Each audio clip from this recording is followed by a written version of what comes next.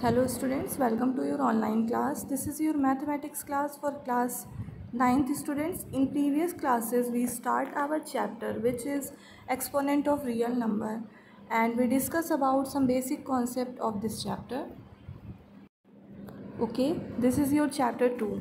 Okay students and we discuss about uh, positive integral power, negative integral power and some more concept related to this chapter.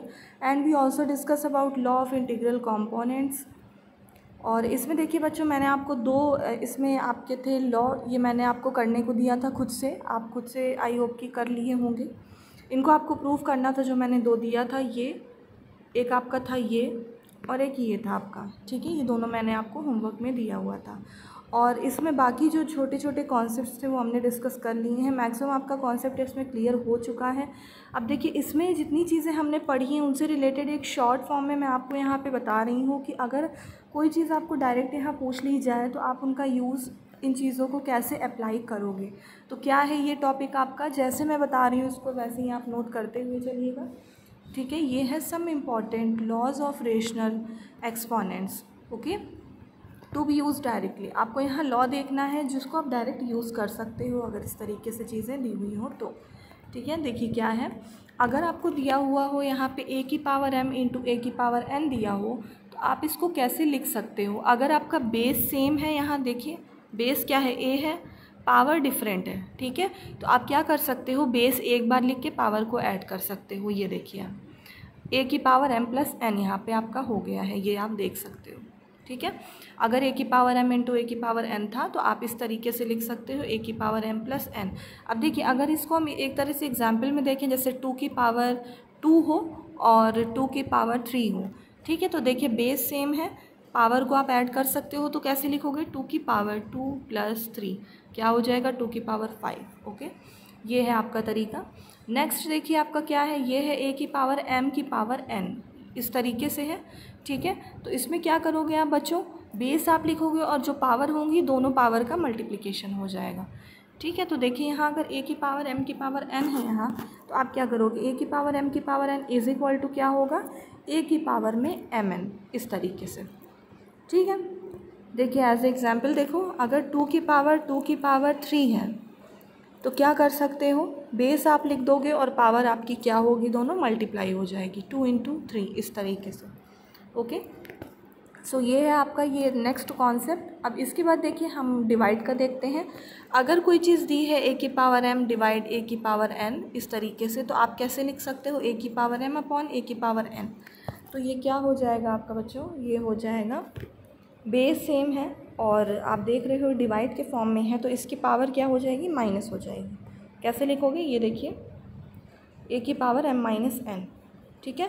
अगर हमने यहाँ दे दिया three की power मैं आपको example के साथ ये चीज़ें समझा रही हूँ। थ्री की पावर टू अपॉन थ्री की पावर अपॉन थ्री है, ठीक है? तो थ्री की पावर में ये वन होगा। कुछ भी नहीं है तो हम अलर्ट करते हैं तो क्या होगा? थ्री की power two minus one base same है तो पावर क्या हो जाएगी? सब्ट्रैक्ट हो जाएगी। ओके? डिवाइड में ये चीज़ आपकी होती है।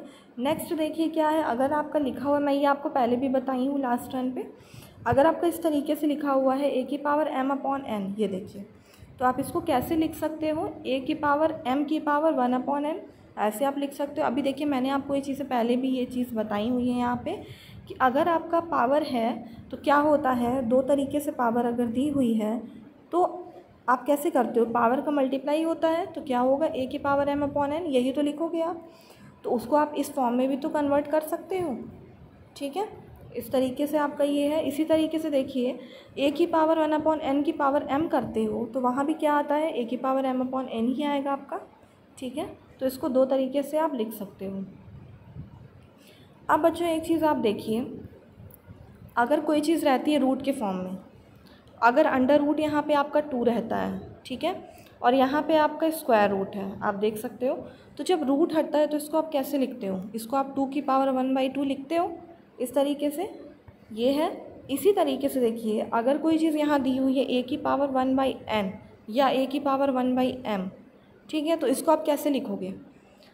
ये जो है, जैसे मैंने आपको टू के फॉर्म में बताया तो ये भी तो आपका एंथ रूट के टर्म में है, आप इसको इस तरीके से लिख सकते हो। ठीक है? ऐसे आप लिख सकते हो इसको। तो जब आप इसको चेंज करोगे तो ये आपका इसी तरीके से आ जाएगा। ओके और जैसे वन अपॉन एम है तो रूट में यहाँ एम रूट है, ये ए है। ठीक है? तो ये आप इस तरीके से शो कर सकते हो। अगर कोई चीज़ ऐसे दी हुई हो ए की power one one upon m one upon n इस तरीके से इसका मतलब ये एम रूट का है। ठीक है? तो ये हमारा रूट मैंने आपको ये रूट के फॉर्म में भी बता दिया। अब आगे देखिए, अगर कोई चीज़ निगेटिव के पावर में दी हुई है, जैसे ए की पावर माइनस वन है तो आप इसको कैसे लिख सकते हो? वन अपॉन ए लिख सकते हो? देखिए, मैंने यहाँ नोट करके भी आपको बताया हुआ है ए की पावर माइनस एन है तो क्या लिख सकते हो? वन अपॉन ए की पावर एन इस तरीके से।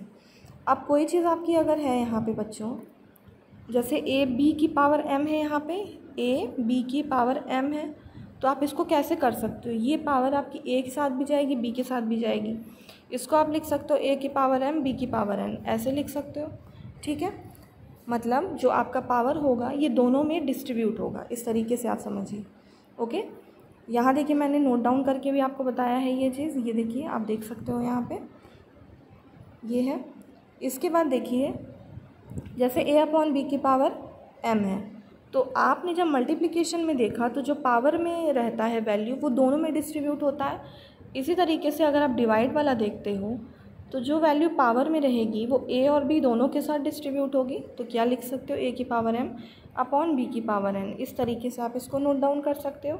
देखिए बच्चे बहुत बेसिक से कॉन्सेप्ट है। अगर आपको ये कॉन्सेप्ट समझ में आ गए तो आपको क्वेश्चंस में कोई भी प्रॉब्लम नहीं होगी। आप क्वेश्चंस को ईजिली कर लोगे, ठीक है? Without any confusion I hope कि ये सारी चीज़ें आपको क्लियर हुई होंगी और ये सारी चीज़ें आप अपने कॉपी में ज़रूर नोट कर लीजिएगा, ठीक है? ये बहुत इंपॉर्टेंट है आपके। और इसमें देखिए आगे नेक्स्ट आपकी स्टार्ट होगी बच्चों एक्सरसाइज टू पॉइंट वन और इसमें जितने भी एग्ज़ाम्पल हैं, वो आप खुद से प्रैक्टिस करिएगा। अगर आपको कहीं कोई कन्फ्यूज़न होती है तो आप मुझसे पूछ सकते हो। ओके एग्ज़ाम्पल आप अपने से करिएगा। मैं एक्सरसाइज आपको करा रही हूँ। ठीक है? एग्ज़ाम्पल आपके सारे सॉल्व होने चाहिए। अपने से आप उसको प्रैक्टिस करिए ट्राई करिए। ओके तो देखिए, यहाँ पे हम क्वेश्चन स्टार्ट करते हैं। क्वेश्चन नंबर हम यहाँ पे देखते हैं। आपको क्या करना है? देखिए evaluate the following question one two five one two five है। इसमें मैं एक आपको बता रही हूँ क्या करना है। आपको इसको इवेल्यूएट करना है। मतलब आपको इसको सॉल्व करना है। ठीक है? तो देखिए क्वेश्चन नंबर फोर क्या है बच्चों? मैं आपको ये बताती हूँ। देखिए, ये सब आपके बहुत इजी क्वेश्चंस हैं। तो ये आप अपने से करिएगा, बहुत बेसिक बेसिक से हैं। मैंने जो आपको अभी इंपॉर्टेंट लॉ बताए हैं, उसी पे बेस्ड है सब आपके, ठीक है? अभी मैंने बताया ए की पावर एम ए की पावर एन वाला तो यहाँ पे वो यूज़ होगा।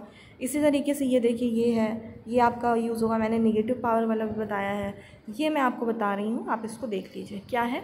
टू अपॉन इलेवन की power four into eleven upon three की power two into three upon two की पावर क्यू अब इसमें आप एक चीज़ देखिए, मैंने आपको जो अभी एक लॉ बताया कि अगर ए अपॉन बी की पावर एम होता है तो क्या होता है? ये एम आपका न्यूमरेटर में भी डिस्ट्रीब्यूट होता है डिनोमिनेटर में भी। तो कैसे होता है? ए की पावर एम अपॉन बी की पावर एम ऐसे लिखते हो इसको। तो देखिए, हम इसको, इसका सॉल्यूशन देखते हैं तो आपको सारी चीज़ें क्लियर हो जाएँगी इसमें। देखिए, ये है आपका सॉल्यूशन बच्चों। जो अभी मैंने आपको समझाया, वो देखिए, इस लाइन में मैंने आपको यहाँ पे शो करके दिखाया हुआ है, ये देख सकते हो आप। इसके बाद देखिए, आप क्या करोगे? जैसे आप देखिए, जो जो आपके सेम सेम वाले टर्म है, जैसे आपका टू की पावर फोर है तो आप अपॉन में टू की पावर थ्री इसको साथ साथ ले लो। इलेवन की पावर टू है अपॉन इलेवन की पावर फोर है इन टू थ्री की पावर थ्री है अपॉन थ्री की पावर टू है। तो इन सारे टर्म्स को आप यहाँ पे साथ साथ ले लो। उसके बाद आप क्या करोगे? जब आपका ये हो जाएगा, अब आप देखिए, जब ऐसे करते हो बेस तो सेम हो जाता है तो क्या करोगे? टू की पावर फोर अपॉन टू की पावर थ्री है अगर तो क्या होगा? क्योंकि बेस सेम है डिवाइड में है तो पावर सब्ट्रैक्ट हो जाएगी टू की पावर फोर माइनस थ्री होगा। इसी तरीके से आप देखिए इलेवन के लिए होगा। इलेवन में देखिए न्यूमरेटर में पावर टू है डिनोमिनेटर में फोर है। तो क्या होगा? सब्ट्रैक्ट हो जाएगा टू माइनस फोर हो जाएगा यहाँ पे आपका। ठीक है? तो क्या होगा देखिए टू माइनस फोर इसी तरीके से थ्री के लिए करोगे तो थ्री माइनस टू हो जाएगा, क्योंकि यहाँ थ्री है, यहाँ पे टू है, आप देख सकते हो। ओके तो देखिए क्या आएगा? अब आप जब इसे सॉल्व करोगे तो फोर माइनस थ्री टू की पावर वन आ जाएगी। टू इलेवन की power two minus four, two eleven की पावर क्या आ जाएगा? माइनस टू आ जाएगा यहाँ पे। थ्री की पावर थ्री माइनस टू है तो क्या होगा? थ्री की पावर वन आ जाएगा। ये देखिए। ये चीज़ यहाँ पे आपको शो करके दिखाया गया है। अब आप देख सकते हो बच्चों, टू इंटू थ्री है। इलेवन की पावर में क्या है? माइनस टू है। तो जब आप इसको न्यूमरेटर में रखते हो तो ये माइनस टू में ही रहता है। जब आपको माइनस हटाना है तो ये क्या होगा? जैसे ए की power minus n is equal to one upon a की पावर एन होता है। इसी तरीके से यहाँ इलेवन की पावर माइनस टू है तो क्या हो जाएगा? यहाँ अपॉन में आ जाएगा इलेवन की पावर टू और आपकी जो पावर होगी, वो पॉजिटिव के टर्म में हो जाएगी। तो फाइनली आपको यहाँ क्या मिलेगा? यहाँ आपको मिलेगा two into three upon eleven square तो क्या मिला आपको? Two threes six upon one twenty one ये आपको फाइनल क्या मिल गया है? आंसर इसका। So this is your required answer for this question I hope कि बच्चों, ये क्वेश्चन नंबर फोर आपको समझ में आया होगा। क्योंकि ये देखिए, मैं आपको एक क्वेश्चन बता चुकी हूँ। और इसमें बच्चों, जितने आपके रिमेनिंग क्वेश्चन हैं, जैसे one two three and five ये सारे आपके होमवर्क हैं।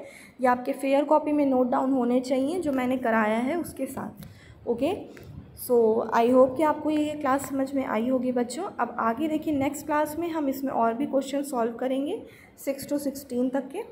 ठीक है? सो so, इसमें जितने भी और क्वेश्चन हैं उन्हें आप ज़रूर ट्राई करिएगा खुद से भी। बाकी बच्चों आगे की चीज़ें हम नेक्स्ट वीडियो में डिस्कस करेंगे। आज की क्लास हम यहीं तक रखते हैं। Have a nice students